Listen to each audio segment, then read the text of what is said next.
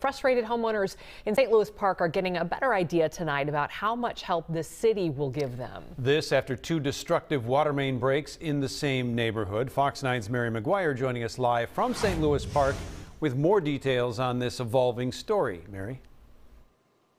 Well, Randy and Amy, after two water main breaks over the course of just two weeks here in St. Louis Park, residents are learning more about how and when they will get reimbursed for cleaning up big messes in their basements.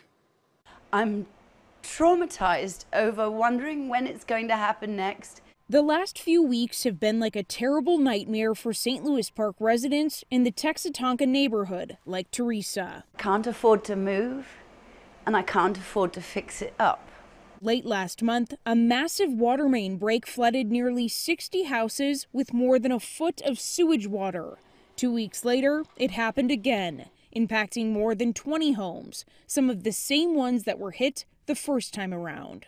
It's going to be the initial cleanup, it's going to be the reconstruction costs, and it's going to be your personal property damage. On Wednesday night at a community meeting, homeowners asked some tough questions about the three step process laid out to reimburse them for cleanup and replacement costs. So, would that mean that some of us have to file claims and ding up our homeowners insurance while others do not since they don't have coverage anyways?